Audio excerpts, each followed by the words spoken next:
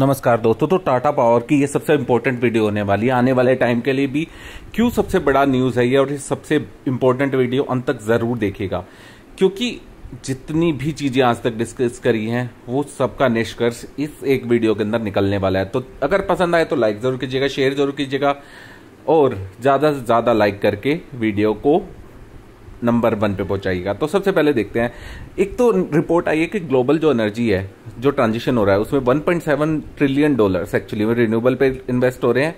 But India के लिए एक अलग न्यूज़ आई है, वो भी डिस्कस करेंगे। और जिसमें से वन ट्रिलियन डॉलर ऑयल और गैस और कोल जैसे प्रोडक्ट हो रही है। इंडिया पहली बार हिस्ट्री में ओवरटेक करने वाला है रिन्यूएबल सेक्टर किसको?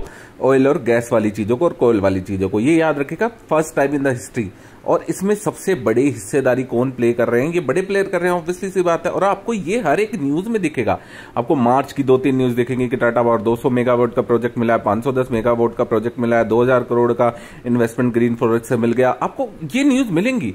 200 500 ये वाली आपको हमेशा, मैंने ये बताई भी है अलग अलग वीडियोज़ में, पर आपको ये समझना होगा कि कल भी एक पिचासी मेगावाट का इनको मिला है, टाटा पावर सोलर को मिला है, चार हज़ार करोड़ की रिन्यूएबल में इन्वेस्टमेंट हो चुकी है फ्यूचर रिन्यूएबल में है ये उनके सीईओ बोल चुके हैं।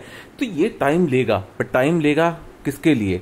ये ध्यान रखिएगा लॉन्ग टर्म के लिए। और ये मंडे को, मैं आपको ये नहीं कह रहा कि मंडे को जाके बाय कर लीजिए। आपको बिज़नेस पसंद आता है तो बाय कीजिए बट पैसा लॉन्ग टर्म में यही स्टॉक बना के देगा। 212 पे है।